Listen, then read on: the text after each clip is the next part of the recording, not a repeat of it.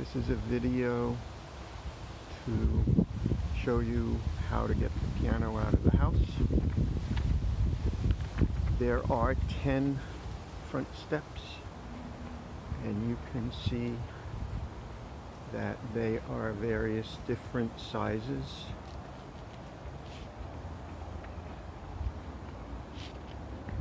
Going up to the front door.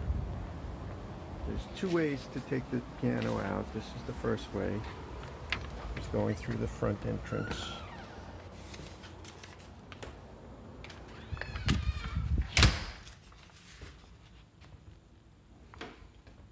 Between the front entrance and the living room, there are two steps up.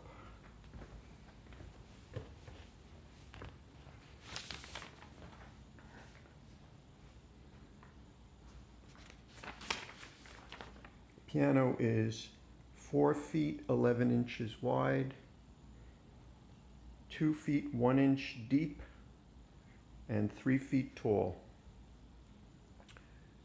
The front doorway is two feet nine inches. The alternate route to take the piano out is to take it down these two stairs and continue another six steps to the basement.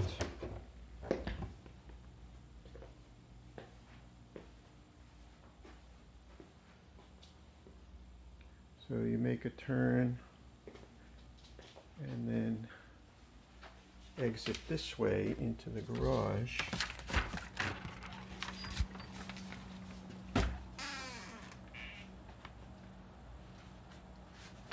The doorway uh, to the garage is two feet four inches. If you needed more room than that, you could remove the weather uh, stripping or whatever it's called, um, or remove the door if that was necessary. The door sticks out one inch at the uh, back edge of it. Or you could leave the door in place, but you might have to remove the handle which sticks out about three inches. There's a one inch drop right here, and that brings you to the garage and the driveway.